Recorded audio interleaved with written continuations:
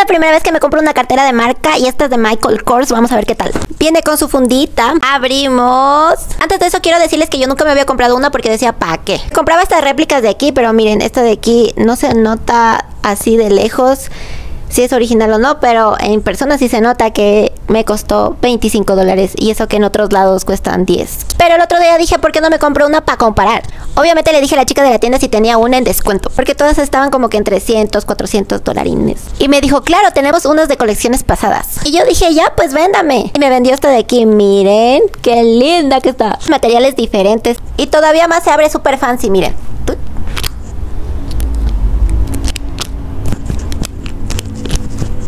Miren, por adentro se ve así, se ve muy bonita. Miren, tiene esta cosa negrita de aquí. Creo que es tal vez lo... La puedes llevar así o así, pero se ajusta la correa.